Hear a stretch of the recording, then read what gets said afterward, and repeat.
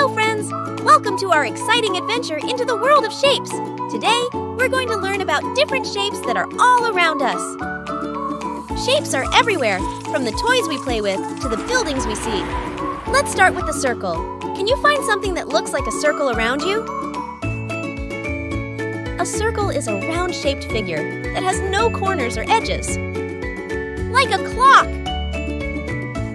And a ball!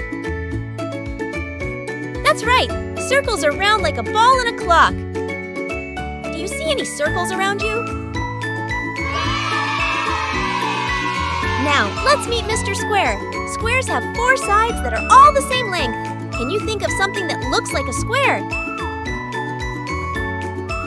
What about a picture frame? And a window!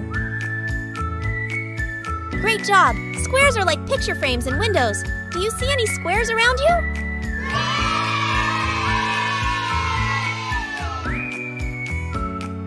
Next up, we have the triangle.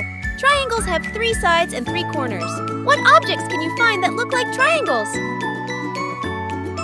What about a slice of pizza? And the roof of a house?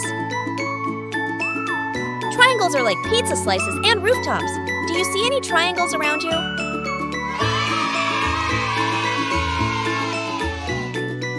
Lastly, let's meet the rectangle. Rectangles have four sides, just like squares, but opposite sides are longer. Can you find something shaped like a rectangle? What about a book? And a door! Well done! Rectangles are like books and doors. Do you see any rectangles around you? Today, we had so much fun learning about circles, squares, triangles, rectangles. Keep exploring and see how many shapes you can find around you every day. Thanks for joining me, adventurers. Thanks for watching Tiny Tots Adventures. Don't forget to like, comment, and subscribe to our channel to catch our next video. See you next time!